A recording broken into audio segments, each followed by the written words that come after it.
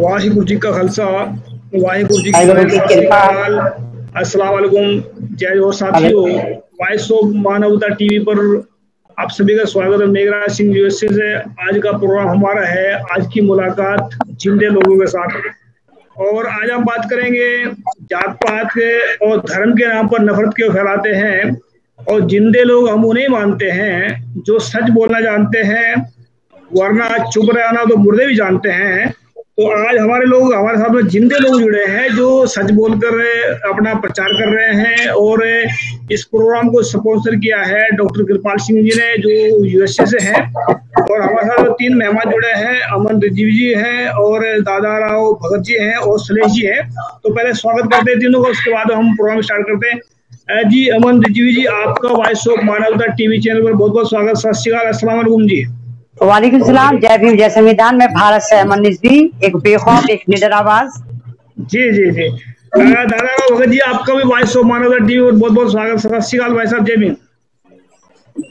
सत श्री अकाल अस्सलाम वालेकुम जय भीम जय भारत। असलेश जी आपका भी बहुत बहुत स्वागत है। सत श्रीकाल भाई साहब वॉइस ऑफ़ मानवता टीवी पर। सर जी सत श्रीकाल अस्सलाम वालेकुम जय भीम जय संविधान। जी जी जी। साथियों, हम बताना चाहते हैं कि पूरे भारत में क्या पूरे वर्ल्ड के अंदर आज नफरत का कारण है? नफरत फैली हुई है, लेकिन हम भारत के बात करेंगे भारत में कि नफरत जात पात और धर्म के नाम पर? एक कौन से शैतान लोग हैं जिन्होंने ये नफरत फैलाई है और कौन से शैतान लोग हैं जिन्होंने जात पात बनाई है? जात पात के गटर में फंस गया इंसान और जात पात बनाने वाला सबसे बड़ा शैतान। तो शैतान की पहचान करेंगे आज। और कौन है नफरत फैलाने वाले? तो पहले अमन रिजीवी जी से बात करेंगे इनसे पहले स्वागत करा, करते हैं और स्वागत हमने कर लिया, लेकिन इनका इनसे सवाल करते हैं। जी, अमन रिजीवी जी, आप बताएँ थोड़ा सा, जैसे कि आज धर्म के नाम पर नफरत फैल रही है तो धर्म के नाम पर नफरत क्यों फैलाई जा रही है? इसके पीछे क्या कारण समझते हो? जी। जहाँ तक मैं समझती हूँ, मेरी बुद्धि काम करती है, वो तो यही है कि धर्म से ऊपर वैसे तो कुछ वतन से ऊपर कुछ नहीं आता कि सबसे पहले भारत है, उसके बाद हम हिंदू, मुसलमान, सिख, ईसाई कुछ भी हैं। लेकिन इस वक्त क्योंकि भारत को लूटने का काम चल रहा है, अब लूटे कैसे?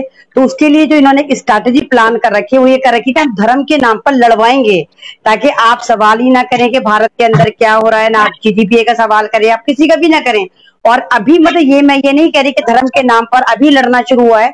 धर्म के नाम पे जो ये बीच पड़ा है लड़ाई का, ये बीस पच्चीस साल से पड़ चुका है कि तू हिंदू है, तू मुसलमान है, तू दलित है, तू ईसाई है। लेकिन अगर आप देखे, सबके वही पार्ट ऑफ़ बॉडी है, वही आँख, वही नाक, कान, वही सब कुछ है। लेकिन उसके बावजूद हमें, हम लोग इतने जाहिल हैं, इतने जाहिल हैं कि धर्म के नाम पर हम फ़ौरन बढ़ जाते हैं। और धर्म के नाम पर बांटने का काम हमें कौन करता है? ये हमें आरएसएस वाले करते हैं, ये ब्राह्मण करते हैं। आप कभी देखिए, जब भी कोई लड़ाई होती है, जब भी कोई जंग होती है, जब भी कोई मॉब लिंचिंग होती है, जब भी कोई झगड़ा होता है, चाहे वो हिंदू, मुस्लिम हो, चाहे कुछ भी हो, वहाँ पर कोई ब्राह्मण तीर तलवार, त्रिशूल लेके नहीं उतरता।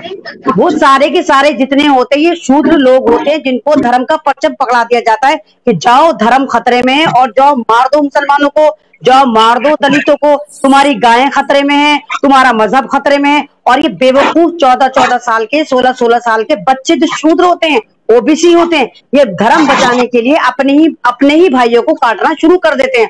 और ये पंडित इतने चलाक होते हैं कि ये खुद तो कुछ नहीं करते। इनके बच्चे विदेश में पढ़ रहे हैं ये कुछ नहीं करते ये अपना मलाई खा रहे हैं। तो जब तक हम ये चीज़ नहीं समझेंगे कि ब्राह्मण हमें यूज़ कर रहे हैं तब तक हम कुछ कर ही नहीं सकते। इसी तरह कटते रहेंगे इसी तरह बढ़ते रहेंगे।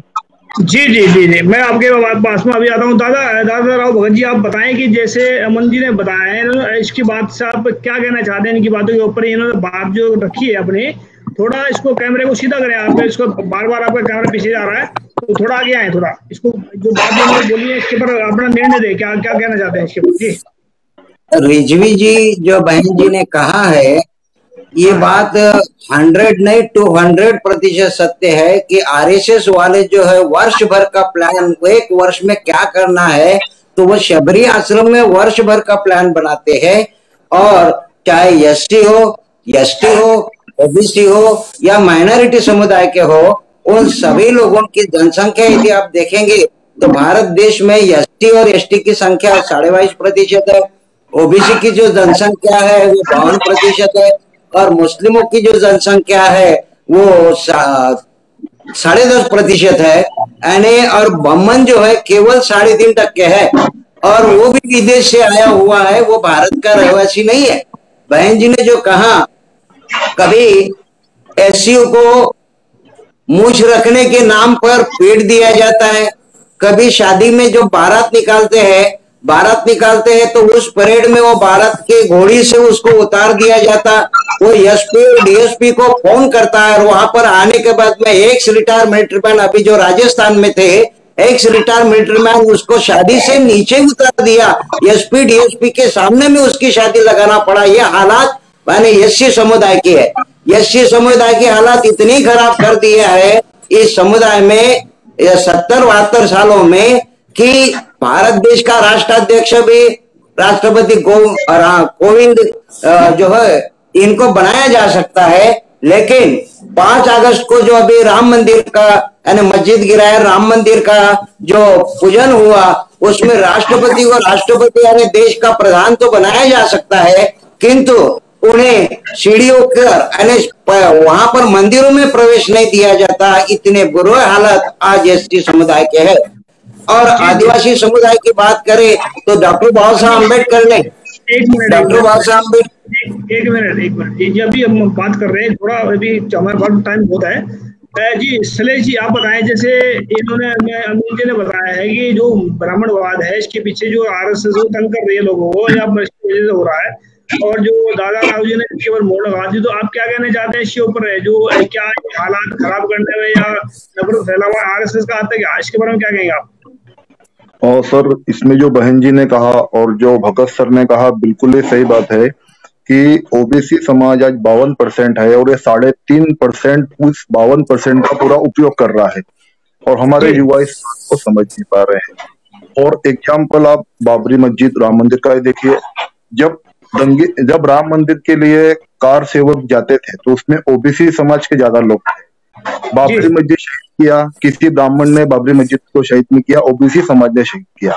लेकिन आज जब ये बना है ट्रस्ट राम मंदिर ट्रस्ट मलाई खाने के लिए पूरे ब्राह्मण है। आप मुझे एक भी ओबीसी या एसटी बता दो उसमें एसटी बता दो। क्यों? क्योंकि इनको ओबीसी और हमको यूज़ करना है। बाकी जो मलाई खाने वाले पद रहेंगे वो इनके रहेंगे।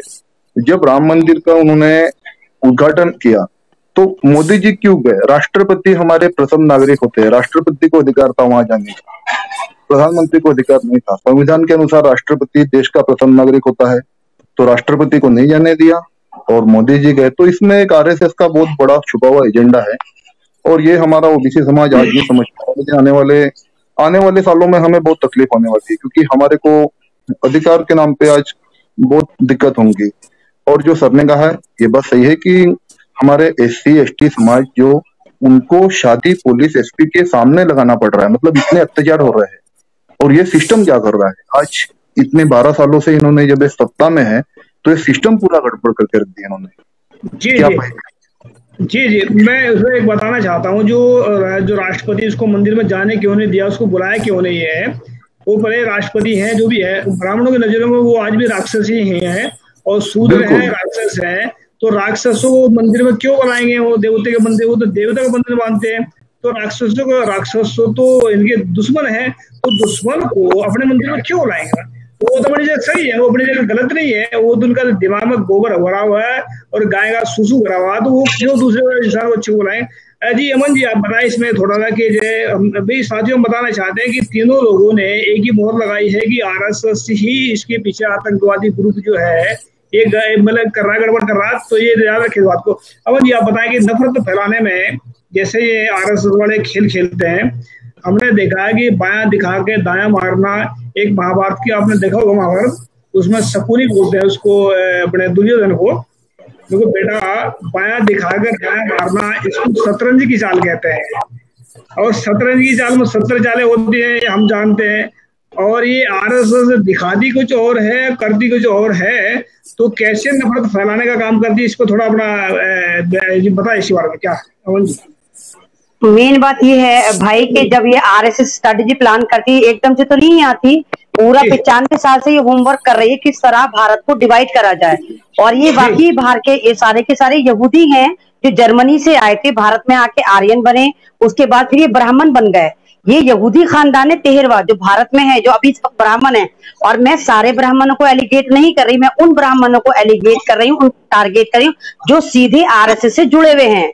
अब इन्होंने इतनी चालाकी कर रखी कि इन्होंने हर जगह अपने पिट्ठू बना रखे हैं, अपनी हर जगह ब्रांचेस बना रखे हैं, चाहे वो मुस्लिम कॉलोनी हो, चाहे वो दलित कॉलोनी हो, हर जगह ये घुसे हुए हैं। और हम इतने गाफिल हैं, हमें पता ही नहीं है हमारे पड़ोस में कौन बसा, हमारे पड़ोस में डंडे चलाने सिखाए जा रहे हैं, पार्कों में इनकी ट्रेनिंग चल रही तो दलित भी गाफिल है, मुसलमान भी गाफिल है। हम एक्शन में कब आते जब हम पिट जाते हैं। और पिटने के बाद हमारा हाल क्या होता है कि हम पिटते भी हैं और बाद में पुलिस हमारे पे ही कार्रवाई करती है कि हम ही मास्टरमाइंड थे। अभी आप देखिए, आगरा में एक दलित लड़की जो चिता के ऊपर थी, उसको इन्होंने ब्राह्मणों ने चिता से उठा के फेंक दिया कि नहीं भाई, ये तेरा वो नहीं है, शमशान गिरे तू यहाँ नहीं जलेगी तू कहीं और जा। तो इतना जुल्म हो रहा है दलितों पर, इतना जुल्म हो रहा है मुसलमानों पर। उसके बाद भी ये दलित भी सुधरने को तैयार नहीं। दलितों में वाल्मीकि समाज जो है, उसको सुधरना चाहिए, उसको समझना चाहिए कि उसका यूज़ हो रहा है। आप आप ए, उसमें देखिए जेएनयू में एबीवीपी के गुंडे जितने हैं, सारे आरएसएस वाले हैं। ब्राह्मण नहीं है, वो सारे के सारे दलित हैं, ओबीसी हैं। और वो आरएसएस की तरफ़ से लड़के अपने ही भाइयों को मारते हैं। आप दिल्ली दंगे देख लीजिए, दिल्ली दंगों में हज़ारों मुसलमान मरा था। क्या ब्राह्मणों ने काटा था? नहीं, ब्राह्मणों ने नहीं काटा था। वो सारे के सारे वाल्मीकि समाज को खरीद के लेकर आए थे। ये आपको अपना, इनको दिमाग लगाना होगा कि इनको यूज़ करा जा रहा है और जेलों में भी बाद में यही जाएँगे। जब बाद में चाहे दस साल बाद कार्रवाई हो, चाहे बीस साल बाद कार्रवाई हो, जेलों में तो यही जाएँगे। ब्राह्मण थोड़ी ना जेल में जाएगा। तो इस वक्त दलित समाज को सबसे ज़्यादा जागने की ज़रूरत है, अवेयर होने की ज़रूरत है कि आपका यूज़ करा जा रहा है। और भारत में इस वक्त दलित 20 करोड़ हैं। अगर मुसलमान 20-25 करोड़ हैं तो दलित भी इतने ही हैं। सिर्फ़ यही दो यूनाइटेड हो जाएँ, सरदार यूनाइटेड हो जाएँ, इनकी बैंड तो हम वैसे ही बचा देंगे। तीन परसेंट ही तो है ये, लेकिन यूनाइटेड हो कैसे, यही समझ में नहीं आ रहा हमें किस तरह हम इनको यूनाइटेड करें। करेंगे। इसके लिए हम कदम उठा रहे हैं, बहुत जल्दी उठाएँगे और इनको एक साल के अंदर यूनाइटेड करके दिखाएँगे हम। जी, दादा राव भगत जी, मैंने आपको पहले भी कहा कि आप थोड़ा कैमरे को सीधा रखें और सावधानी से बैठे। हैं ये पूरा लाइव जा रहा है वर्ल्ड के अंदर पूरा लाइव जा रहा है, ये प्रोग्राम आपका। तो इसके बारे में बताएँ कि जो इन्होंने बहन जी ने बताया है कि जो दलित समाज के जिनको अब बोलते हैं, जो भंगी मतलब वाल्मीकि बोलते हैं, उनको यूज़ करते हैं, ऐसा, ऐसे बता रहे हैं। तो इस पर क्या कहना चाहेंगे? क्या सही सही बात है कि गलत बात है? सही बात है सर। भारत देश में पंद्रह सौ जाति है दलित समाज के जो दलित नहीं बोला जाता उसको अनुसूचित जाति कहा है एस कहा है। अनुसूची यानी जो सूची डॉक्टर बाबा साहब अंबेडकर में बनाया था वो अनुसूची में सत्रह सौ जातियाँ भारत देश में आती है जिसमें स्वीपर है जिसको वाल्मीकि समाज कहते हैं भंगी है खाटिक है बौद्ध है महार है चमार है ढोर है ऐसी पंद्रह सौ जातियाँ विभिन्न राज्यों में रहती है। बहन जी ने जो कहा, वो हंड्रेड परसेंट ठीक है, हकीकत है कि और उन पर भी इतनी जातियाँ रहने के बाद में ये समाज डिवाइड है, जिसमें कभी आठोले कभी कवाड़े, कभी गवई, इनके पीछे लगे रहते हैं। उनके नेता जो है, कहीं पर भी ले जाते हैं। नेता जो है पार्टिकुलर काम करने वाले नहीं है और लोगों को गुमराह करने वाले अपने स्वार्थी नेता ज़्यादा है और इसीलिए ये जो समुदाय अनुसूचित का ये अभी बहन जी ने जो उदाहरण बताया, मुस्लिमों के खिलाफ हमेशा नफरत से जो बयान बिंदास दिए जाते हैं, और वो सुदर्शन चैनल, बहन जी ने जो कहा, वो चैनल है सुदर्शन चैनल, और उसके सीएमडी है चौहान। एक बार फिर कई वर्षों से ये तो काम कर ही रहे यानी मुस्लिमों के खिलाफ, कभी एस के खिलाफ में ये चैनल गुमराह कर रहा है, लेकिन उसमें आरएसएस का हाथ है। आरएसएस का उसको सपोर्ट है। अभी जो बहन जी ने कहा कि जामिया जामिया यूनिवर्सिटी जो है और उस्मानिया जो यूनिवर्सिटी है, यहाँ के करीबन बयालीस बच्चे मुस्लिम समुदाय के जो है, वो इस साल मुस्लिम समुदाय के बच्चे आईएएस की परीक्षा पास कर गए। पास हुए। पास होने के बाद में सुदर्शन चैनल का जो चौहान है, वो क्या कहता है, देश की इतनी बड़ी परीक्षा देश की इतनी बड़ी कठिन परीक्षा जिलाधिकारी जैसे या कमिश्नर जैसे, जो जिलाधिकारी जैसे या कमिश्नर जैसे परीक्षा मुस्लिमों ने पास कैसे की? ये तो जामिया के जिहादी है। अगर ज़िले का जिलाधिकारी बनेगा तो हर मंत्रालय में सचिव भी होंगे तो देश का क्या होगा? इतनी बड़ी नफरत। ये सुदर्शन चैनल का जो डायरेक्टर है, सुरेश चौहान, इस पर कार्रवाई होना चाहिए। ऐसी मैं मांग करता हूँ। और पिछले साल यूपीएससी में चौदह मुझे लगता है मुस्लिमों के जो बच्चे है पिछले साल चौदह बच्चे पास कर गए थे यूपीएससी की परीक्षा और उसका प्रमाण यदि देखेंगे तो पिछले साल की तुलना में पिछले साल चार प्रतिशत बढ़ा था और इस साल पाँच प्रतिशत बढ़ा है। और ये परीक्षा यूपीएससी की परीक्षा के संदर्भ में प्रश्न चिन्ह लगाया गया तो ये बहुत बड़ी गलत बात है। वो यूपीएससी ग्रांट कमीशन के ऊपर आरोप किया है। ये बातें समझना चाहिए कि इनका चयन यूपीएससी के ग्रांट के कमीशन के प्रमुख या राष्ट्राध्यक्ष इसका चयन करते हैं। चाहे बच्चा एससी का हो, चाहे एसटी का हो, चाहे हमारे बड़े भाई जो ओबीसी है, वो ओबीसी का हो, वो कोई भी परीक्षा दे सकता है। और वो पास कर सकता है उसके लिए बहुत बड़ी मेहनत लगती है। केवल जाति जाति में झगड़े लगाने का कार्य आरएसएस द्वारा जो किया जा रहा है इसका मैं निषेध करता हूँ। जी जी। तो भाई साहब एक बात बताएँ मतलब ये सलेश जी आप बताएँ इसके बारे में कि जो सुदर्शन का जो मालिक है जो सुदर्शन के टीवी का उसने मुसलमानों के खिलाफ नफरत की बात क्यों बोली? इसके पीछे क्या कारण समझते हैं आप? एक्चुअली सर कैसा है ये एक सोचा समझा एजेंडा होता है। इन्हें पता है कि फंडिंग आता है पहले आरएसएस से? उस पैसे को यूज़ कैसे करना है? जैसे बहन जी ने कहा कि दिल्ली दंगे हुए जेएनयू में एबीवीपी के जो गुंडे थे उन्होंने जो किया इसको फंडिंग कहाँ से आता है? सबसे पहले इसके फंडिंग को हमको रोक लगाना चाहिए। और बच्चों में वो जागृति करना कि भाई आप अपने मतलब के लिए कुछ पैसों के लिए ऐसे कार्य मत करो। क्योंकि क्या होता है जो नेता होते हैं वो बरगराने का काम करते हैं। थोड़ी आवाज़ बढ़ाएँ थोड़ी आवाज़ कम आ रही है आपकी। हाँ अभी आपको आवाज़ आ रही सर? आवाज़ आ रही बोल रही एक्चुअली कैसा है? जी। एक्चुअली हाँ, कैसा हो रहा है कि बच्चे लोग पैसों की लालच में काम कर लेते हैं वैसे और ये नेता लोग उनको बरगलाते हैं। क्यों? क्योंकि उनको मजबूरी पता है बच्चों की। एबीवीपी में बहुत सारे ओबीसी है। ओबीसी लोग है वो जेएनयू में गए बच्चों को मारा ये किया। तो ये सब इसका एक एजेंडा होता है सर। और ये एजेंडा बहुत सालों से चल रहा है। क्यों? उनको कहते हैं कि हिंदुत्व खतरे में, हिंदुत्व के नाम पे दुकानदारी हो रही है धर्म की, हिंदुत्व के नाम पे। अभी महाराष्ट्र सरकार ने लॉकडाउन बढ़ा दिया तो चिल्ला रहे कि मंदिर खोलो। क्यों खोलो मंदिर? क्योंकि अभी दुकानदारी बंद हो गई है। अभी दो तीन महीनों से पैसा आना बंद हो रहा है। तो अभी तक के आपने जितनी भलाई है, उस पर कितने सोशल वर्क किए सोशल वर्क के नाम पे ज़ीरो है। ब्राह्मण पॉलिसी से देश को लूट रहे हैं। और हमारा बहुत बड़ा जो वर्ग है, वो उसके अंदर में आ रहा है सब। ऐसा मुझे लगता है। जी जी। अमन जी, जैसे इन्होंने फंडिंग की बात करी है कि फंडिंग जो आता है, इनको मुझे ऐसा अपना, मेरा अपना अंदाज़ा है ऐसा है कि जो मंदिर है भारत के, वो 95 परसेंट बौद्ध मठ थे पहले जिन पर ब्राह्मणों ने कब्जा किया। ब्राह्मणों ने लूट रहे बैठे वहाँ। पर तो ये फंडिंग का जो पैसा है, ये ब्राह्मणों के मंदिरों से आता है। आरएसएस को मिलता है और आरएसएस तो बांट देती है। मेरा अपना अंदाज़ा है। तो इसमें क्या कहेंगे आप? ये क्या बात सही है कि गलत है? क्या कहेंगे इस पर? आ, भाई ये मंदिरों से तो आता ही आता है मंदिरों से फंडिंग नहीं आती मंदिरों से तो ये खुद खाते हैं। फंडिंग इनको आती है कंपनी से। जैसे इस वक्त आप देखें अंबानी ग्रुप अदानी ग्रुप अगर आप अंबानी ग्रुप को उठाकर देखें 2013 में वो सवे नंबर सौ की लिस्ट में भी नहीं आती थी दुनिया में। और इस वक्त अंबानी ग्रुप पांचवे नंबर पे अमीरों के। तो पैसा कहाँ से आया? सवाल बनता है पैसा कहाँ से आया? अंबानी ने ऐसा क्या करा कि पाँच साल में वो दुनिया के पांचवा अमीर बन गया। कुछ नहीं करा उसने। तो ये सारा का सारा जिस इनको बेचा जाता है, ये सारी आरएसएस की कंपनीज़ है, चाहे वो अंबानी हो, चाहे वो अदानी हो। एक बिहार शेट्टी था, आपने देखा, वो यूएई गया था। वहाँ उसने कंपनियाँ लगाई थी, सत्तर डॉलर लेकर गया था और पूरा यूए उसने अपने कब्जे में कर लिया था। ये फंडिंग वो फंडिंग वहाँ से पैसा, वहाँ से पैसा और टोटल पैसा कमा के वो आरएसएस को दे रहा था ताकि वो आरएसएस वाले यहाँ पर दलितों को मारने में, मुसलमानों को मारने में यूज़ करें। पकड़े कब गए? जब इन्होंने सऊदियों के बारे में गलत बोलना शुरू करा, सऊदी औरतों को गलत बोलना शुरू करा तो सऊदियों को तब लगा। सऊदियों को इससे मतलब नहीं था कि दलितों को मारो, मुसलमानों को मारो, उन्हें इससे मतलब नहीं था। लेकिन जब उनकी औरतों पे बात आई, तब उन्होंने बी आर शेट्टी के टोटल अकाउंट सीज करे और उसको लात मार के वहाँ से निकाला, क्योंकि सारा पकड़ा गया कि आरएसएस की फंडिंग हो रही थी आरएसएस में सारा पैसा भेज रहा था। तो ये सारी की सारी एक स्ट्रैटेजी है। आरएसएस एक सोच है। आरएसएस कोई मज़हब नहीं है कोई तंजीम नहीं है वो एक सोच है।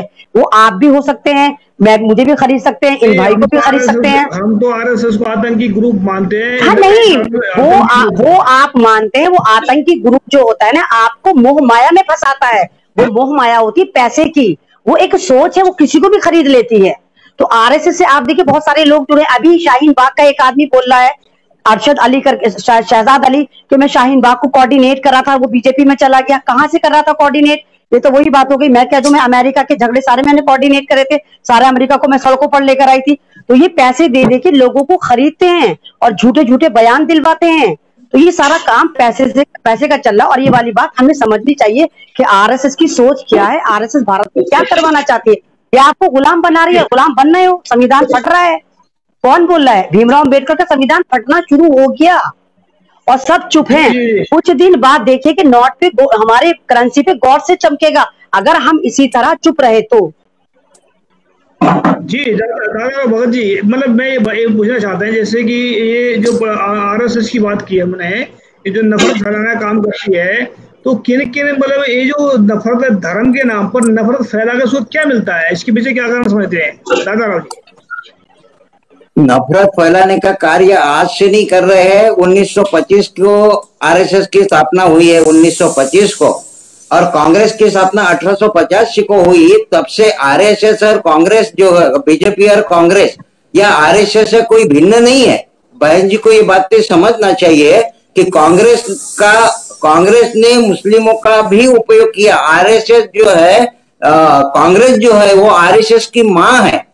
यानी आरएसएस की जननी है कांग्रेस आरएसएस की जननी है और बीजेपी की जननी है ये आरएसएस वाले जो है वर्ष भर का प्लान कर कर समाज को डिवाइड कर कर अपना राज प्रस्तापित करना चाहते हैं और इतना नहीं इतना नहीं इतना ही नहीं तो शासकीय एसबीआई बैंक हो या और अन्य बैंक है तो एसबीआई ने अभी अदानी अंबानी इस ग्रुप को अड़सठ हज़ार करोड़ माफ़ किए अड़सठ हज़ार करोड़ माफ़ किए और हमारे वो बहन और भाई जो बिहार से सूरत से दिल्ली से ढाई ढाई हज़ार किलोमीटर पैदल चले तो इनको कोई होश में नहीं है। उल्टा एमपी गवर्नमेंट को लेन देन कर शिवराज सिंह को मुख्यमंत्री बनाया पैसे के माध्यमों से।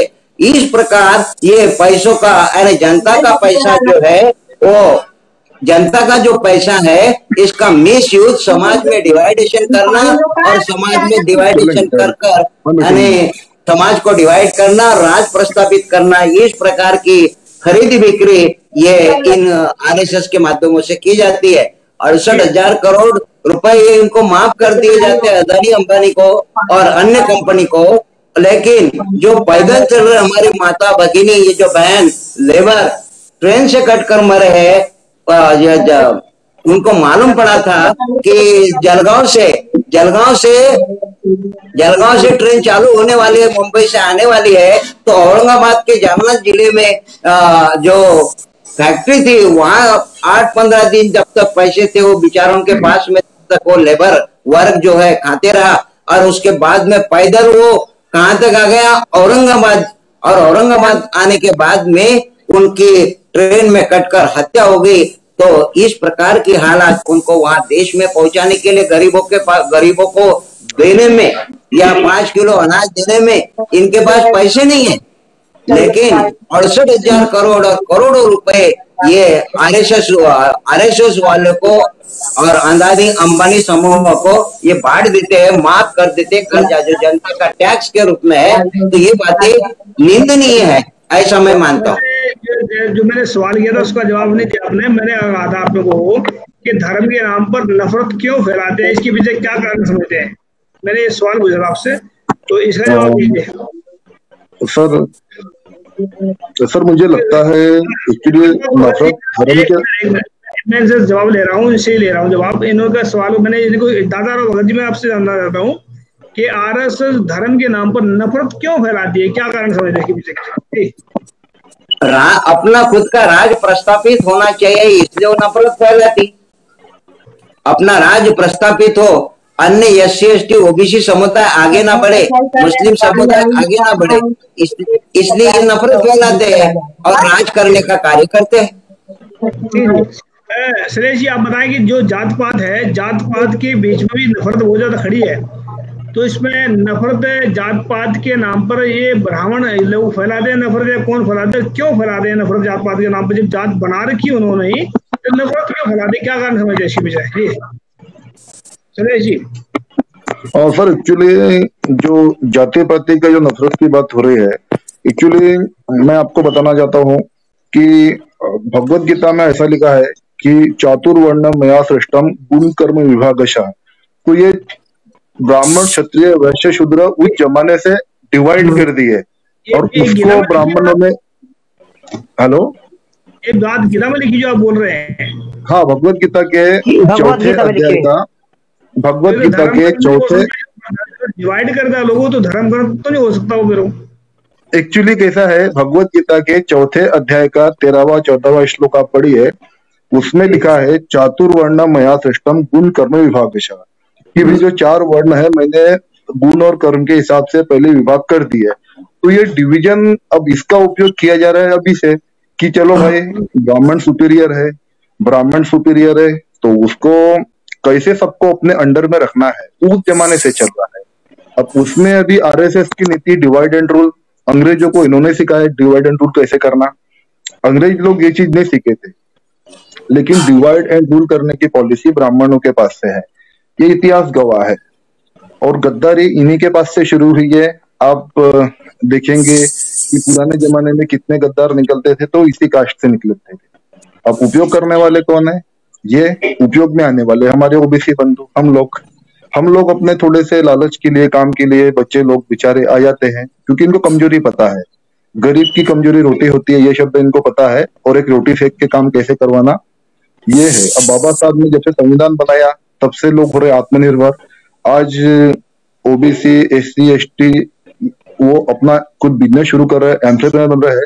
तो अब इनके पेट में दर्द हो रहा है कि अब कैसा करना, अब क्या दिमाग लगाना। तो अलग अलग पुराने मुद्दे उठा रहे हैं। जैसे राम मंदिर का मुद्दा उठाया, ताकि हम कुछ कर रहे हैं। इन्होंने देश में गरीबी के लिए क्या किया? कुछ ने किया, लेकिन दिखाना है कि कुछ करना है तो कर रहे हैं। इस तरह का सिस्टम है, वो ब्रेन वॉशिंग चालू है। कहा जाए तो एक तरह से this is the type of brain washing sir ji Aman Rizvi ji, मैं आपसे जानना चाहता हूँ, जैसे उन्नीस से फिल्मिस्तान दुनिया के अंदर आया है, तब से लेकर आज तक किसी फ़िल्म में मुसलमान को कोई धार्मिक या अच्छे रोल में नहीं दिखाया। जहाँ भी दिखाया, आतंकवादी उर्गावादी अगरवादी, पता नहीं कौन कौन से बना दिखाया है तो मतलब देशद्रोही या बहुत कुछ दिखाया उन्होंने फिर भी इनका पेट नहीं भरा है। इसके पीछे मुसलमानों की ताकत से उनको डर लगता है ऐसा क्यों किया उन्होंने ऐसा इसके पीछे क्या कारण समझ दिया आ, भाई अगर आप देखेंगे आज़ादी में सबसे ज़्यादा योगदान मुसलमानों का था आप आज भी इंडिया गेट पर उठाकर देखें सेवेंटी फोर परसेंट नाम मुसलमानों के इवन मैं फ्रीडम फाइटर की बेटी हूँ मेरे सगे दादा फांसी पे चढ़े मेरे सगे परदादा फांसी पर चढ़े परदादा चढ़े लंदन में जाके मैं जमींदार फैमिली से थी लेकिन उसके बावजूद हम हम भी आवाज़ बने हुए हैं। तो इन्होंने अब जो चीज़ जो ज़्यादा करते तो उनको आरएसएस का एजेंडा था कि मुसलमानों को डिग्रेड करके दिखाया जाए। तो आरएसएस ने पूरी फ़िल्म इंडस्ट्री को कैप्चर कर रखा है। अभी भी आप देखिए चाहे अजय देवगन हो चाहे शाहरुख खान हो चाहे अमिताभ बच्चन हो सब इनके पालतू हैं सब इन्हीं की तोती बोलते हैं। तो फ़िल्म इंडस्ट्रीज़ को इन्होंने एक ज़रिया बनाया। और अगर आप भाई देखें उन्नीस सौ नब्बे तक जो थे सरदारों को ये आतंकवादी कहते थे इस सरदार को मार दिया ये आतंकवादी ये खास आतंकवादी। उन्नीस सौ नब्बे के बाद एकदम से प्लाट चेंज होता है और अब मुसलमान आतंकवादी होना शुरू हो जाता है। अब जहाँ भी मरेगा वो मुसलमान आतंकवादी, जितने भी उठेंगे मुसलमान आतंकवादी, झगड़ों में मरेगा मुसलमान, फिर भी मुसलमान आतंकवादी। आप दुनिया में देखिए, सारे मुल्क बर्बाद हो गए, चाहे वो ईरान हो, चाहे वो इराक हो, चाहे बांग्लादेश हो, चाहे कोई सीरिया हो, सारे बर्बाद हो गए। और उसके बावजूद आतंकवादी कौन है? फिर भी मुसलमान आतंकवादी। तो ये एक स्ट्रैटेजी प्लान करी जा रही पूरी दुनिया के साथ मिलकर जिसमें अमेरिका शामिल है, भारत शामिल है इसराइल शामिल है इंग्लैंड शामिल है। और मुसलमानों की तादाद क्योंकि भारत भी इनको लगता है कि इजी टारगेट है दुनिया में। अगर आप उसको देखें जैसे इन्होंने कहा था कि वो आ, आ, आ, हमला हुआ था अमेरिका में आपका वर्ल्ड ट्रेड सेंटर में। आप खुद बताइए लदेन की इतनी हिम्मत थी वो हमला कर देता रेडर पे जहाज़ ही नहीं है। वो टोटल कोऑर्डिनेट था ईसाई इन्होंने यहूदियों ने कराया था। और कमाल की बात उस दिन छह हज़ार यहूदी छुट्टी पे थे। इतना बड़ा कोइंसिडेंट नहीं हो सकता कि एक ही दिन छह हज़ार यहूदी छुट्टी पे एक यहूदी ना मरे तीन हज़ार के तीन हज़ार ईसाई मरे।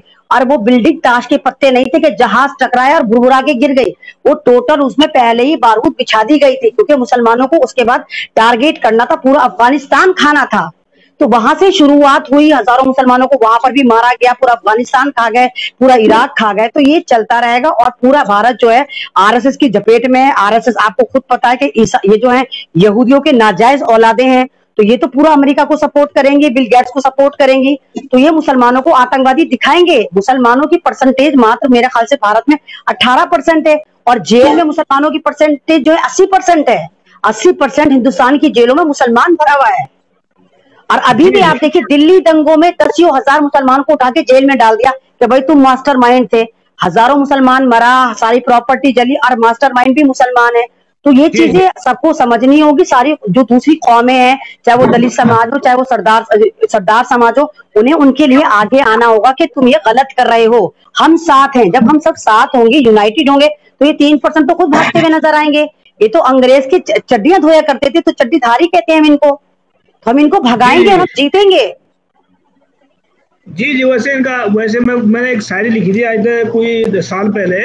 कि जो जुल्म चल रहा है भारत में ये जुल्म ऐसे नहीं चल रहा है। पहले तो ब्राह्मण जुल्म करते थे मूल निवासियों के ऊपर अपना गुलाम बनाने के लिए। पहले तो ब्राह्मण मूल निवासियों को जुल्म करते थे अपना गुलाम बनाने के लिए। आज जो मूल निवासी जुल्म कर रहे हैं अपनी जान बचाने के लिए क्योंकि इनको पता है जिस दिन एक भी डंडा उठा लिया ना तो डंडा मार मार कर ऐसा होगा एक दिन और भोजन होगा दो हज़ार चौबीस होगा आज ये सभी अभी आप लाइव कर रहा है पूरे वर्ल्ड के अंदर। भाई साहब थोड़ा बात कम करेगा तो कर रहे हैं इसमें कि जैसे बहन जी ने बताया है कि मुसलमानों को टारगेट किया उन्होंने उन्नीस सौ सैंतालीस से लेकर उन्नीस सौ नब्बे तक की बात। तो उससे पहले सरदारों को भी जोग बढ़ाया सरदारों ने तो हमें तो अच्छा सबक सिखाया कि माँ नानी सबको याद रखिए ज़िंदगी में भूल सकते सरदारों को। क्योंकि सरदार कभी किसी पर निहत्ते वार नहीं करते। अगर हाँ किसी के ऊपर वार अगर उनके ऊपर वार करते हैं तो उसको छोड़ते नहीं है। उनको पता है इनको इंदिरा गांधी को क्या सबक सिखाया और जो विद्या था उसको क्या सबक सिखाया सरदारों ने, ये पता उनको। आज भी ब्राह्मण अगर डरते हैं ना भारत के अंदर तो सिखों से डरते हैं कि सिखों पे दो चीज़ें हैं, जो ब्राह्मणों को बहुत डर लगता है, एक हथियार और दूसरा विचार। विचार गुरु ग्रंथ साहिब जी का है, जो ब्राह्मणों को ठोकता है और हथियार से वो डरते हैं इस करके वो सिखों से बहुत ज़्यादा डरते हैं। ये उनको भी बताया सिखों ने जितनी जितनी आधा उठा उखाड़ के फेंकना, वो सिखों ने उखाड़ के फेंकना और मुसलमान इनके साथ हैं और सभी इनके साथ हैं। तो इसमें बताया कि मुसलमानों को इन्होंने उन्नीस के बाद में आज तक फ़िल्म बनी है। सब में आतंकवादी, उग्रवादी, किसी भी फ़िल्म में ऐसा नहीं दिखाया कि मुसलमान भी एक इंसान है, एक उसके अंदर भी जान है वही पाँच पाँच तत्व बड़ा इंसान है ऐसे क्यों नहीं ऐसे क्यों दिखा रहे आतंकवादी क्यों दिखा? क्या कारण समझते हैं इसके पीछे? चलिए एक्चुअली सर कैसा है जैसे बहन जी ने जो बात की है वर्ल्ड ट्रेड सेंटर पे जो हमला हुआ आतंकवादी बनाया किसने? शुरुआत में जो फंडिंग की किसने? एक्चुअली क्या होता है कि ये लोग पहले पैसा खर्चा करते हैं जो गरीब जितने मुसलमान मतलब जैसे कि आप किसी का भी इतिहास देखो दाऊद इब्राहिम का भी इतिहास देखो तो ज़मीन से आया था। जितने भी है, यानी आप पुराने डॉन से लेके सब देख लो। इन्होंने क्या किया? उसको पहले फंडिंग किया, उठाया। उठाने के बाद फिर मरवा दिया, अपना नाम दिखाया। तो ये एक्चुअली क्या होता है कम्युनिटी में नफरत फैलाने का एक इनका ये है, अब क्यों है कि ऐसा नहीं करेंगे तो ये ज़िंदा नहीं रहेंगे। अगर मुस्लिम और बहुजन समाज एक हो गया तो इनकी सत्ता निकलने को चुटकियाँ बजाते सत्ता निकल जाएँगी। इसीलिए ये पहले से एजेंडा चल रहा है और इसमें अलग अलग रेफरेंस दिए जाते हैं। फंडिंग एजेंसियाँ होती है बड़े बड़े लोग पैसा खर्चा करते हैं। तो ये अमेरिका की पॉलिसी वही थी। अमेरिका ने अफ़गानिस्तान को टुकड़े करने के लिए, रशिया के टुकड़े करने के लिए पहले लादेन को लाया। बाद में लादेन को उसी के इसमें मरवा दिया वर्ल्ड ट्रेड सेंटर में। और ये सब मतलब एक सोची समझी पॉलिसी होती है। आज हमारे देश में जो सिविल वार चल रहा है, आने वाले टाइम में सिविल वार की जो हालत आ जाएँगे, वो इसी तरह आएँगे। और सर, आपने जो कहा सही बात है कि सिखिज्म से सही में थोड़ा सा डरते हैं लोग। कि इन्हें पता है कि जो विचार है, वो ये है कि इसीलिए अभी वो मुस्लिम के तरफ़ में ला रहे हैं। उन्हीं को कल्प्रिट बता रहे हैं। हर दिल्ली दंगे का दोषी है तो मुस्लिम है, हर चीज़ का दोषी है तो मुस्लिम है। तो एक तरह से नफरत का माहौल, ताकि बेरोजगारी, बेरोजगार अपनी बेरोजगारी भूल जाए। मुझे तो लगता है कि इसका मेन मकसद ये है कि जो युवा लोग बेरोजगार है, वो इनसे सवाल करेंगे कि भाई हमारे रोज़गार का क्या है? व्हाट अबाउट अवर एम्प्लॉयमेंट तो वो उनको एक डिस्टर्ब करेगा अरे तेरा धर्म खतरे में है, पहले धर्म को बचा ले एम्प्लॉयमेंट तो मिल जाएगा, पेट तो भर जाएगा, पहले अपने आप को बचा ले। ऐसी पॉलिसी है ऐसा, मुझे ऐसा लगता है। जो धर्म की दुआई देते हैं ना, धर्म के बारे में उनको जानकारी है ही नहीं है कि धर्म का मतलब क्या होता है। सारा दिन सुबह से लेकर शाम तक झूठ बोलते हैं बेईमानी करते हैं, डाका डालते हैं, लोगों जेब काटते हैं, जेब कतरे बैठे हैं, सबके टीवी पर देख लो, वहाँ पर कौन है, वो जेब काटने वाले बैठे हैं, जो ज्योतिषी बने बैठे हैं, वो जेब काटते हैं लोगों के, जो तांत्रिक बने बैठे हैं, वो जेब काटते हैं, जेब कतरे हैं सबके सब। तो ये धार्मिक कहाँ से है? उनके धर्म के बारे में जानकारी है ही नहीं उनको धर्म तो सच्चाई और ईमानदारी का नाम है वो उनके अंदर है ही नहीं है तो धर्म के बारे में क्या है उनको पता? तो जी आप लादेन की बात कर रहे हैं तो मुझे उसमें थोड़ा शक है कि लादेन मरा नहीं है। उसको सिर्फ़ गोड़ घुमाकर ऐसे ही दिखा दिया गया है कि उसको मतलब वहाँ से नाम कुछ और चेंज कर दिया होगी हाथ में सारा कुछ होता है तो ऐसा हो सकता है। चलो तो उसके बारे में बात उसमें करेंगे। लेकिन जी, अमन जी, आप बताएँ इसके बारे में कि जो हम बात कर रहे हैं कि आज जो आरएसएस इतनी पावरफुल बनी है, और ये एस टी एस सी के ओबीसी के बलबूते पर है।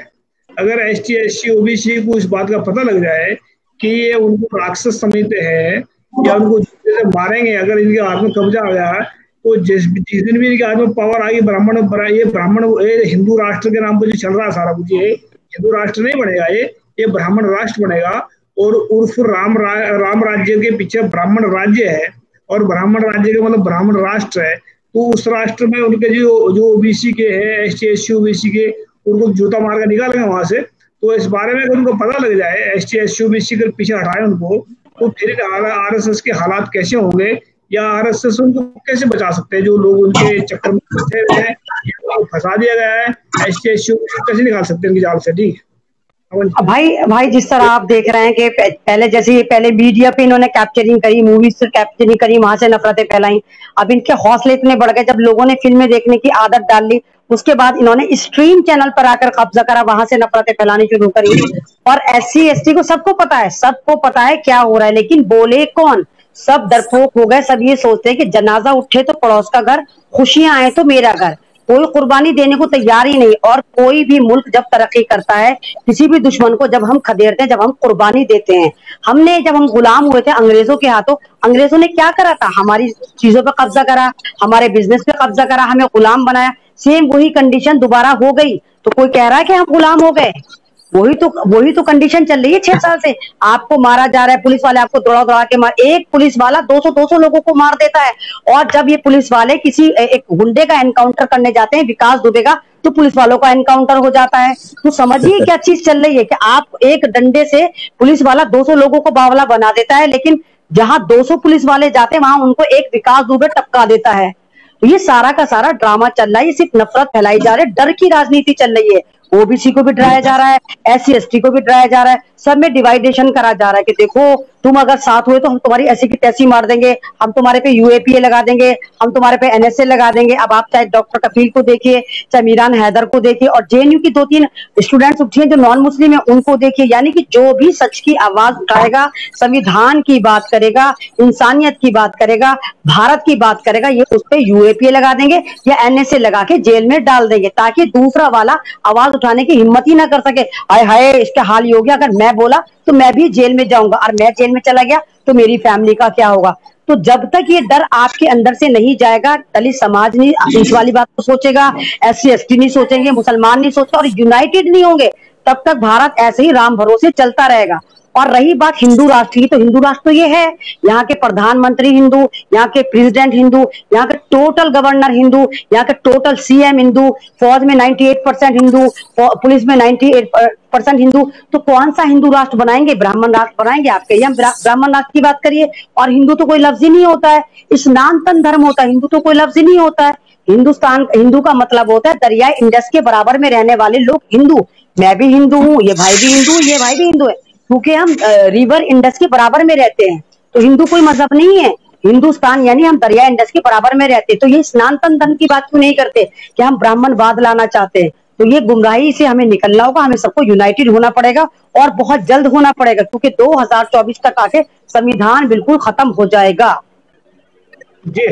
दादा राव जी, थोड़ा हमने पहले भी रिक्वेस्ट किया। आपको थोड़ा कैमरा सीधा रखिए। आपका अगर देखेंगे लाइव में जाकर तो आपके गर्दन गर्दन नज़र आ रही हो कुछ नज़र आ रहा है थोड़ा इसको सीधा रखें। तो इसमें जानना चाहता हूँ जैसे बहन जी ने बताया है कि जो आप सही आप सही हाँ। तो इसमें बताया कि इसमें कि क्या चल रहा है सारा कुछ? ये इसके पीछे जो S T S C OBC के दम पर जो आर एस एस कूदती है अगर S T S C OBC को निकाल देते हैं वहाँ से दूर तक हालात हो गए और उनको निकाला कैसे जा सकता है? S T S C OBC को वहाँ से? आर एस एस के चुंगल से। कहा दादा बहुत जी आ, सवाल रिपीट करें सर मुझे सुनाई नहीं आया। सवाल रिपीट करें। थोड़ा आगे को हो जाए तो मेरे आ जाएगा, थोड़ा सीधा हो जाए और। मैं कह रहा हूँ आपको जैसे कि आरएसएस के चुंगड़ में फंसे एस टी एस ओबीसी के लोग हैं, ज़्यादातर तो उनके ऊपर कूद रहे हैं। अगर उनको बाहर निकाल दिया जाए, या उनको कैसे समझा कर बाहर निकाला जाए, क्योंकि वो तो आरएसएस जब भी जब भी पावर में आएगी दोबारा या मतलब ब्राह्मण राष्ट्र बढ़ाएँगे उनके जूता मार के बाहर निकालेंगे उनको तो उसको उनके चुंगड़ से S T S C OBC के लोगों को कैसे निकाल सकते हैं?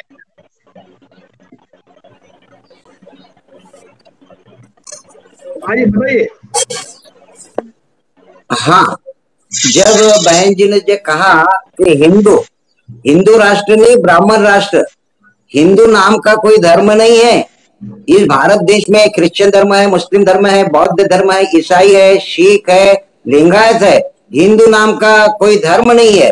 हिंदू ये पर्शियन शब्द है, ये आप डिक्शनरी में, कोलकाता के डिक्शनरी में जो देखेंगे तो हिंदू ये गाली है। हिंदू समुदाय नाम का कोई धर्म नहीं है। हिंदू हिंदू के नाम से वो एस सी एस ओबीसी को ब्राह्मण समुदाय जोड़ना चाहता है और अपने ही समुदाय के माध्यमों से वो एस सी की, कभी एस टी की, कभी मुस्लिमों की, कभी सिखों की ये पिटाई करता है। उन्नीस सौ चौरासी में ये सिख समुदाय के जो लोग हैं लाखों युवा सिख समुदाय के भी उन्नीस सौ चौरासी में इंदिरा गांधी के कालावधि में जो अमृतसर टेंपल है, अपना पवित्र, उस कालावधि में ये मारे गए थे। ऐसा स्टेप बाय स्टेप इनका जो है कोई धर्म नहीं है, ये ब्राह्मण धर्म बनाना चाहते हैं। और जन्म सिद्ध आज़ादी के बारे में यदि गुरुबानी का बिरसा देखेंगे तो जमीर की जिसको आज़ादी कहा जाता है तो मनुष्य धरती पर परमात्मा की खुशी की, खुशी से और कृपा से भेजा जाता। इसलिए किसी दूसरे की सिफारिश की आवश्यकता होती नहीं और दूसरी तरफ़ मनुष्य को आत्मा इस प्रकार पर कोई बोझ नहीं बना जाता।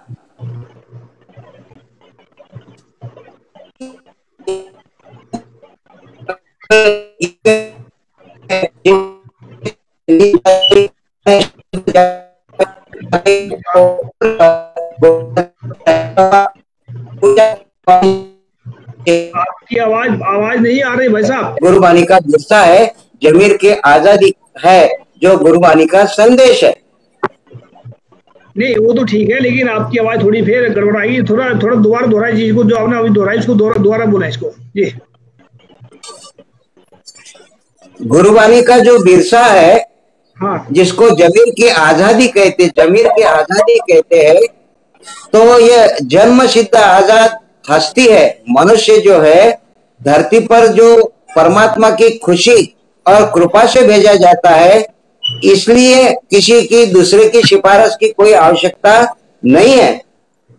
और जन्म से ही, जन्म से ही वो दूसरे की तरफ़ मनुष्य के आत्मा पर इस प्रकार का कोई बोझ नहीं माना जाता।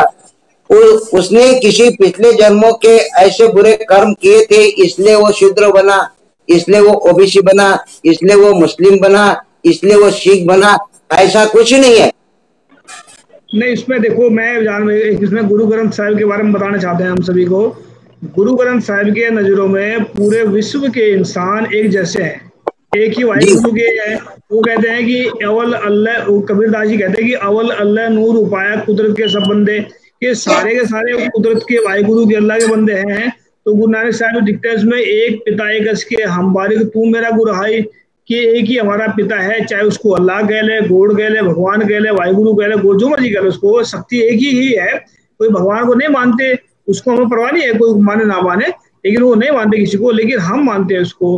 और हमारे अंदर बैठ कर हमारे शरीर को चला रहा है। हम तो उसको मानते हैं। वो जिस दिन भी गुरु ग्रंथ साहब का ज्ञान पूरे भारत में फैल गया, उस दिन मनवाद की समाप्ति है वहाँ से। क्योंकि हमने जो सिखों तक सिखों के अंदर भी ये चीज़ बांट दी गई है। ब्राह्मणों ने कि गुरु ग्रंथ साहब का ज्ञान है सिर्फ़ ये तो एक महज किताब है। मतलब गुरु ग्रंथ साहब ये तो सिर्फ़ सिखों के गुरु है, ऐसा मानते हैं लोग। और गुरु ग्रंथ साहब सिर्फ़ एक और बात मैं बताना चाहता हूँ कि पंजाबी के अंदर ये पंजाबी ऐसी सिर्फ़ वो कर दिए कहने अगर जो सिख पंजाबी बोल रहे हैं वो हिंदी बोल ही नहीं सकते। उनको हिंदी बोलने पर मेरे मेरे पीछे में लगे रहते हैं बहुत सारे लोग आप हिंदी क्यों बोलते हैं?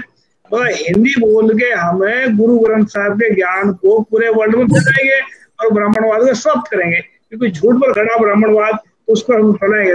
जी सलेह जी आप क्या कहना चाहते हैं? चाहते हैं इस पे जो दादा राव भगत जी ने बात बोली है। सर मैं दो दो मिनट में बात खत्म करूँगा। ब्राह्मण के बारे में जो महापुरुष होकर गए, उन्होंने क्या कहा? ब्राह्मण पूरे विश्व के लिए कसाई है। ब्राह्मण विश्व के लिए पूरा कसाई है, ये गुरु नानक साहब जी ने कहा। ब्राह्मण भगवान के भगत नहीं, बनारस के ठग है। ब्राह्मण भगवान के भगत नहीं तो बनारस के ठग है, ये संत कबीर साहब ने कहा। और ब्राह्मण जगत में ब्राह्मण जगत गुरु नहीं ये कलयुग के अंदर काम वासना में फंसे हुए इंसान है। इस प्रकार का संत रविदास जी ने कहा और गुरु गोविंद जी गुरु गोविंद सिंह जी कहते हैं ब्राह्मण की बात जो भी सीख मानेगा ब्राह्मण की बात जो सीख मानेगा उसका मैं कोई स्वागत नहीं करूँगा क्योंकि ये ब्राह्मण इंसान नहीं ये शैतान है।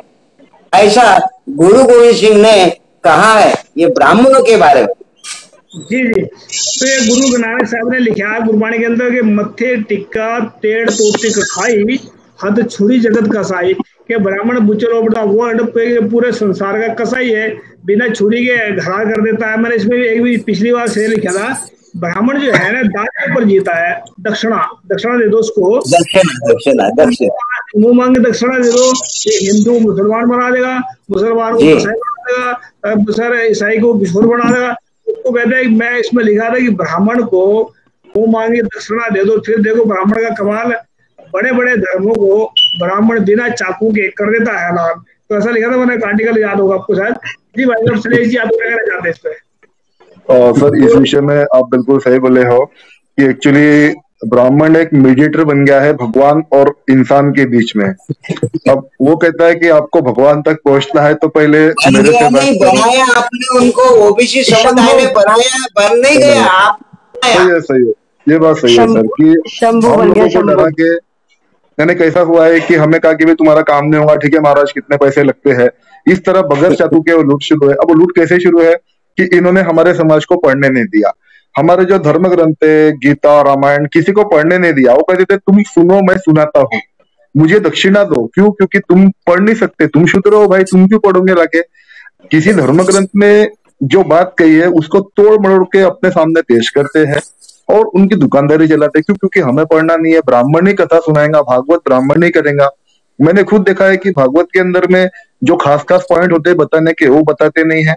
गुरु की महिमा शुरू होती है, गुरु की महिमा, दान की महिमा, और स्टार्टिंग का एक घंटा मैंने खुद देखा हूँ, पूरा दान के ऊपर लेक्चर होता है। इन्होंने लाख रुपए दिए वो इनकम टैक्स बचाने के लिए दस लाख रुपए दे रहे हैं। तो फिर गरीब आदमी भी सोचता है कि चलो मैं हज़ार रुपए तो दू। यानी एक रेट लगा दिया इन्होंने क्या किया है कि एक्चुअली एक तरह से ओबीसी लोगों को लूटना कैसा, उनके पास से पैसे कैसे निकालना। तो सबसे बड़ा एक है वो धर्म। धर्म को उन्होंने कर्म कांडों में डाल दिया। धर्म पहले कर्म कांडों में नहीं था। अरे वो मर गए हैं, उनको अगर तुम इलाहाबाद उनका अस्थि विसर्जन नहीं करोगे तो वो उनको स्वर्ग नहीं मिलेगा। ऐसे दिमाग में बैठा दिया लोगों के पहले से। तो बेचारे वो कर्जा निकाल के जाता है, पंडितों को, फिर इतने पंडितों को आप दान दो, दक्षिणा दो, ये सब एक उन्होंने क्या किया है कि शास्त्रों का मिसयूज किया है। एक तरह से देखा जाए तो ये लोग हिंदुत्व के अपराधी है। ये लोग हमारे ओबीसी समाज के अपराधी है कि इन्होंने लोगों को अपने धर्म से भटकाया, उन्हें शास्त्र पढ़ने का अधिकार नहीं दिया, औरतों को शिक्षा का अधिकार नहीं दिया। क्यों? क्योंकि औरतें अगर पढ़ती तो आगे इनके दुश्मन हो जाते। तो ये बहुत बड़ा एक, यानी देश पे अनंत काल तक राज करने का उनका एजेंडा है, मेरे हिसाब से। अनंत काल तक। वो चाहते हैं कि जब तक के दुनिया है, हम ही राज करें। इस तरह से उन्होंने किसी को, यानी पढ़ने का मौका ही नहीं दिया है और कहा है कि हम जो बताते वो सही है। हमें मानो और वो हमारे पैसों से ऐश करे। ऐसा कोई सिस्टम चल रहा है। ऐसा मुझे लगता है।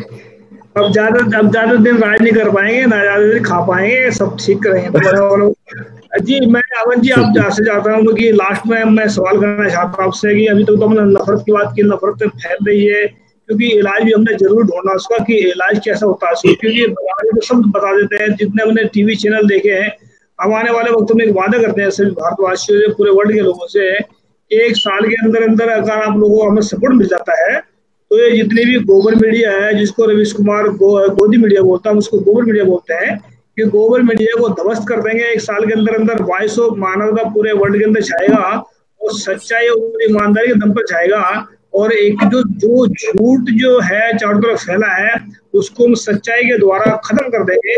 और महापुरुष जितने भी भारत के अंदर क्या पूरे वर्ल्ड के अंदर है जैसे मोहम्मद साहब है गौतम बुद्ध है या जीजस हैं। इनके आने वाले वक्त में एपिसोड चलाएँगे वॉइस ऑफ़ मानवता पर, क्योंकि ये सभी के सभी मानवतावादी लोग थे, मानवतावादी महापुरुष थे। इन्होंने मानवता को इस जो प्यार का, अमन का पैगाम दिया है। वो हम पूरे वर्ल्ड के अंदर लेके जाएँगे। और ये एक ऐसा दिखाएँगे हम सभी को कि सभी के सभी एक हैं अलग अलग नहीं है। शरीर के अलग अलग हैं, लेकिन इनके विचार आचार विचार इनके एक ही है, प्यार के संदेश इनका। जी अमन जी हम हम चाहते हैं आपसे कि आप एक प्यार का संदेश कुरान की तरफ़ से जो लोग कहते हैं ना कुरान में ये लिखा कुरान वो लिखा है तो कुरान का कोई प्यारा संदेश दें दुनिया के अंदर जिससे अमर शांति आ जाए क्योंकि दुश्मन बहुत बैठे हैं फहराने वाले हराम खोर कहते हैं हराम खोर में उनको कहता हूँ गाली नहीं वो जो हराम की खाते हैं, जो फ्री की खाते हैं, उनके हार्ड भी गड़ जाते हैं, वो सब दिमाग भी खराब होता है, उनका बेकार होता है दिमाग। उनके दिमाग में ये बहुत सारी चीज़ें निकलती हैं, जैसे आतंकवादी लफ्ज है मानसिक बीमारियाँ हैं बहुत सारी, उसके दिमाग में निकलती है, जो हराम खोर होते हैं, जो हराम खाते हैं। जैसे छूत की बीमारी है जो आतंकवादी की बीमारी, बहुत सारी बीमारी होती है, उसको तो सबके वो दूसरे ऊपर फेंक देता है बीमारी निकल के। जी, कोई कुरान की वजह निकाल के, बताएँ कोई अमर। जो जी जी जी भाई, मैं आपसे ये बताना चाहूँगी, जिस तरह इन्होंने हमारे कलाम पाक की तोहिन कर रखी है, कहते हैं कि हम जिहादी हैं, हम काफिरों को मारने की बात करते हैं। पहले तो कलाम पाक में जिहादी का मतलब मैं आपको बताना चाहूँगी, जिहादी का मतलब होता है किसी चीज़ की मुखालफत करना, जो आप पर थोपी जा रही है। तो वो जिहाद होता है, ज़रूरी नहीं वो तीर तीर त्रिशूल से वो आप बातों से भी कर सकते हैं। जैसे अगर मैं आपसे बात करी तो हम ये जिहाद कर रहे हैं आरएसएस के खिलाफ। ये जिहाद लफ्ज आया कि हम उसकी कमियों को बता रहे हैं, उसकी पॉलिसी को बता रहे हैं। और काफिर कहते हैं, काफिर का मतलब अगर हम किसी ऑफ़िस में जॉब करते हैं तो हम अपने बॉस की गुलामी करते हैं। बॉस की जो स्ट्रेटेजी प्लान करता है, उसकी बात मानता है। अगर हम अपने बॉस की बात नहीं मानते तो बॉस हमें फायर कर देता, नौकरी से निकाल देता। है तो ऐसे ही कलाम पाक कहता है कि जो उसकी तालीम है, जो उसको नहीं मानेगा, वो कुफर पे है, वो नहीं मानना।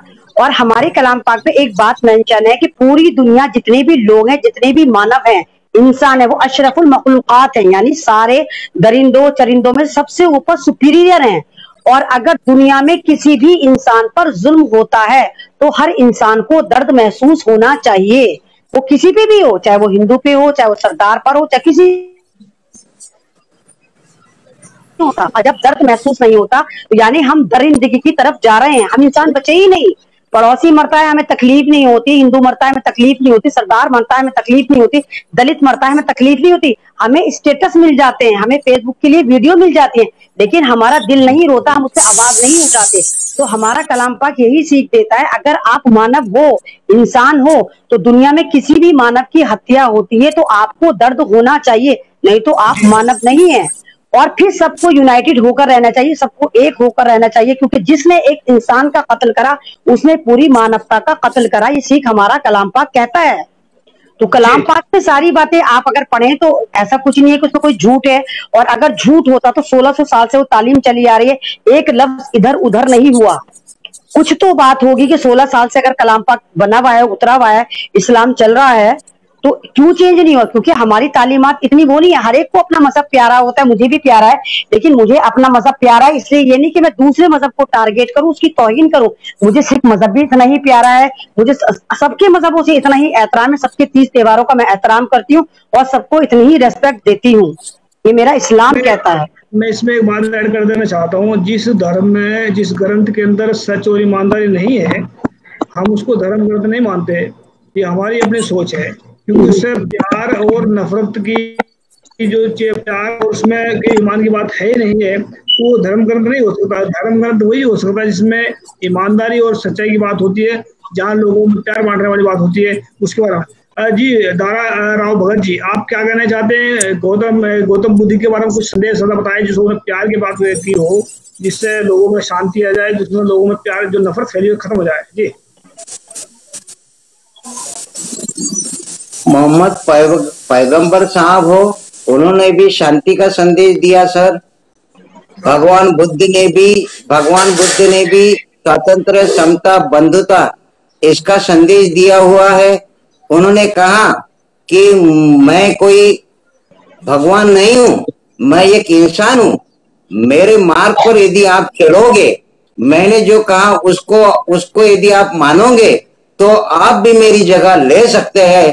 ऐसा स्वतंत्र समता, बंधुता और भाईचारा का संदेश पैगंबर साहब ने भी दिया, गुरु गोविंद साहब ने भी दिया और पैगंबर साहब ने भी दिया, बुद्धा ने भी दिया और सभी धर्मों के जो है, उन्होंने ये कहा कि स्वातंत्र समता, बंधुता और भाईचारा, ये बातें सभी समुदाय से होनी चाहिए और इसीलिए मैं जब कभी ये ईद आता है या रमज़ान का महीना रहता है तो मैं यहाँ पर दोनों मस्जिदों में जाता हूँ और फल वितरण करता हूँ। और मुस्लिम लोग, समुदाय में जो भाईचारा देखा, अमीर हो तो भी अमीर हो और पहले जो मस्जिद में जाएगा तो वो पहले लाइन में खड़ा होगा, चाहे गरीब हो या फकीर हो तो उनमें जो भाईचारा मैंने देखा कि जो भी फल या जो भी उन्होंने लाए हुए है, फल फ्रूट वो इकट्ठा करते हैं, चाहे जलेबी हो, लड्डू हो, चाहे बिरयानी हो, एक साथ में इकट्ठा करते हैं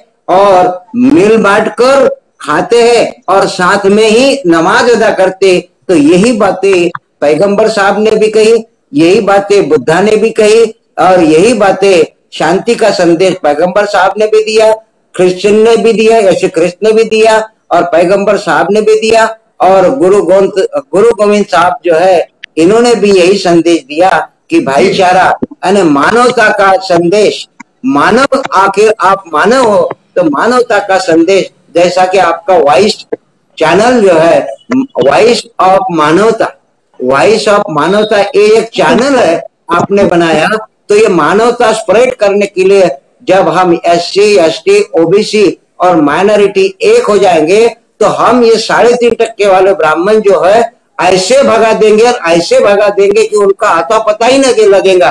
क्योंकि क्योंकि उसका कारण मैं आपको बताता कि वो ये इस देश के रहने वाले नहीं है।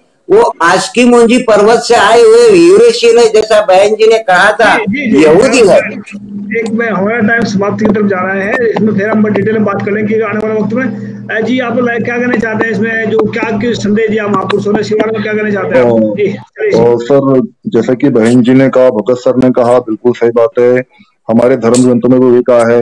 रामायण भगवत गीता इसी ने कहा है वसुदेव कुटुंबकम the whole world is a big family क्यों? क्योंकि मानवतावादी विचार होना बहुत ज़रूरी है और जो कुछ जो विचार. बोले ना जो जो कुटुंब की बात करी है इस सबसे पहले इसको, इसको ब्राह्मणों को सीख लेना चाहिए। उनके अंदर तो है ही नहीं है कुटुंब की बात क्या पूरे वर्ल्ड की क्या कुछ कुछ भी नहीं है उनके अंदर। तो ये सीख लेना चाहिए बोलिए आप एक्चुअली कैसा है सर कि ये लोग क्या करते हैं कि जो धर्मग्रंथ होते हैं उसको तोड़ मरोड़ के सामने पेश करते दुकानदारी के लिए। और अब हम मानवतावादी विचार के लोग इकट्ठा हो रहे हैं तो हमारा काम है कि युवाओं को जागृत करना। जो ओबीसी युवा है उनको इतना जागृत करे कि वो लोग अपना देखे। वो देखे कि मेरे परिवार का क्या है। इनके लिए मैं लड़ रहा हूँ लेकिन ये तो मले खा रहे हैं। तो हमें ये बात एक मानना पड़ेगा। और मानवतावादी विचार इंपॉर्टेंट है। जैसा बहन जी ने कहा कि कुछ भी परेशानी होती है किसी का भी खून बहते देखे और उसे दर्द ना हो तो मानव नहीं है। हमारा काम है किसी के दर्द में शामिल होना। हम जितना ये मानवतावादी विचार को लेके चलेंगे, उतना ही आगे बढ़ेंगे और मानवता आगे बढ़ेंगे। इम्पोर्टेंट है जी जी। हम हम भी शिक्षा के बारे में बताना चाह रहे थोड़ा सा कि आपने इस्लाम के बारे में बताया गौतम बुद्ध के बारे में बताया, हम भी शिक्षा के बारे में बता देना चाहते हैं। गुरु नानक साहब ने लंगर की लंगर की सेवा शुरू की थी। उससे क्या हुआ कि जात पात को खत्म किया, प्यार की भावना प्यार स्टार्ट हुआ और गुरु गोविंद सिंह जी ने जो है एक एक बंदे के अंदर इतनी ताकत भर दी है। उन्होंने कहा, सवा लाख से लड़ाऊ तबे गोविंद सिंह नाम कहा हूँ। उन्होंने ये भी कहा है कि जिन प्रेम की हो तिन ही प्रभु पायो कि जिन्होंने प्रेम प्रेम की बात करी है कि प्रेम की बात जो है, जो प्यार से पा सकते हैं इंसान को। प्यार प्यार से, इंसान तो दूसरी बात है, रब को पा सकते हैं जो अल्लाह वाहे गुरु गोड़ जिसको भगवान कहते हैं। उसको पा सकते हैं। वो उन्होंने अंदर बैठा उसे प्यार से पा सकते ऐसे नहीं पा सकते। तो लास्ट में लास्ट वर्ड जानना जानना चाहता हूँ। अमन जी लास्ट में कुछ कहना चाहते